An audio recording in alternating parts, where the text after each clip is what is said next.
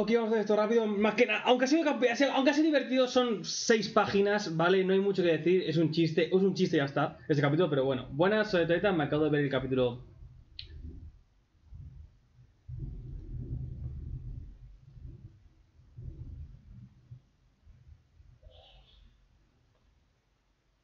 Se ha grabado eso, ¿verdad? Me acabo de ver el capítulo 91.2, final, eh, de Uzaki. Ah, es un chiste, ¿no? Continuamos donde dejamos. Eh, está divertido, pero no tengo mucho que decir, así que ya sabéis. Si os suscribís eh, con la membresía va gratis a los miembros. Dudas preguntármelas. Eh, bla bla bla bla. bla, bla, bla. Tengo que un vídeo ahora, haré, tengo que hacer un vídeo de 2023. ¿Y qué más? Comentarios, likes y esas cositas, cómo va.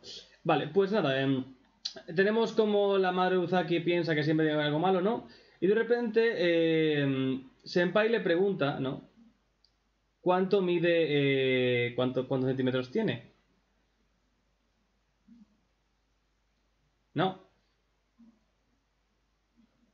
Claro, la más experiencia que se refiere a las tetas, pero en- antes de que diga el senpai dice que, que mide un 1,80, ¿no? Y, y la madre dice que mide 1,48. La madre de Uzaki mide 1,48. Es una puta loli. Pero se ve que la ma que Uzaki mide menos. Lo cual cabrea a Uzaki porque tiene un complejo de estatura y mide 1,45. Sí, Uzaki tenemos estatura 1,45. Senpai intenta animarla, pero básicamente dice que. que puede usar unas botas con plataforma, lo cual le cabrea más. Y así acaba el capítulo. Solo es un chiste.